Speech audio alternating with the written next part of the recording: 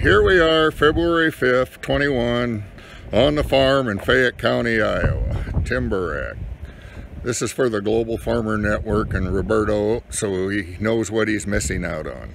So we got a nice snowstorm going today. We got drifts here. You can see them piling up against the buildings.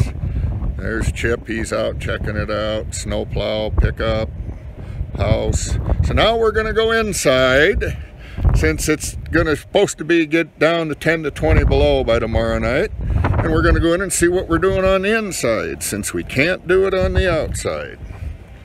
And what we're doing on the inside here in the shop we're rebuilding the planter. So we're take, putting on all the places that wear out over time. And Tyler my partner's over here working on it. I'll let him say hi Chip's got his golf tennis ball in his mouth, which he wants you to throw. So here we are. This is the planter, and we're replacing things that wear. So how you doing, Tyler? I'm downhill fly. Yeah, you're all dirty too, by the way. Yeah, this this video may go around the world, just so you know. Look at the camera just once, and then you say hi. So we're replacing disc openers, closings, every place that wears. So that's what's going on in Iowa, February 2021 in the snowstorm on the farm.